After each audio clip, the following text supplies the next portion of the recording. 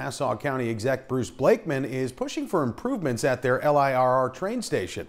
This comes after years of requests for repairs. Take a look here due to dangerous crumbling concrete, rusting metal, that uh, broken down broken down overpasses and other lackluster conditions out there as you can see the mayor of valley stream says their station may be in the worst condition of any other station on the island have a listen we are demanding that the long island railroad take a look around at what valley streamers have to look at every day now, in response, the LIRR says, in part, the 2020 to 2024 capital program that was approved by Mr. Blakeman's own representative on the MTA board includes more than $3.5 billion in LIRR investments. This includes station rehab work at stations like Valley Stream.